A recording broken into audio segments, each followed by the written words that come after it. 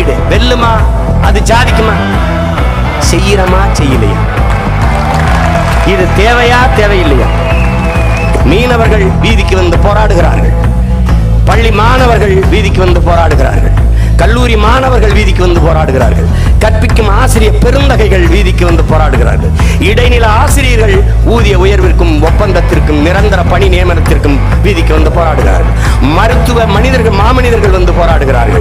செவிலியர் சேவை பெண்கள் வந்து தெருவிறங்கி போராடுகிறார்கள். உழவர் குடிமக்கள் தெருவிறங்கி போராடுகிறார்கள். போக்குவரத்து தொழிலாளர்கள் வீதிக்கு வந்து போராடுகிறார்கள்.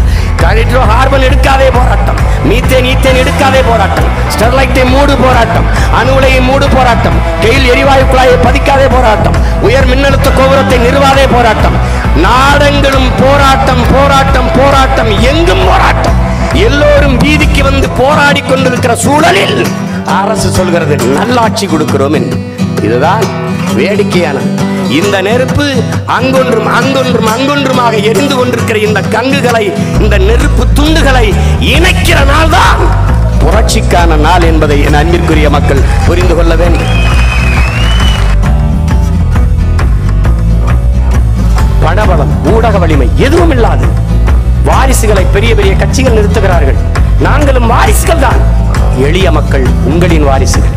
உழைக்கும் மக்கள் அன்றாட தினக்கூலிகள் பஞ்ச பராரிகள் வேளாண் வேறுகுடி மக்களின் வாரிசுகள் எங்களுக்கு வாக்கு தந்து வலிமைப்படுத்துங்கள். ஒரு புத்தம்புது அரசியலை தூய அரசியலை இந்த நிலத்திலிருந்து கட்டி எழுப்புங்கள்.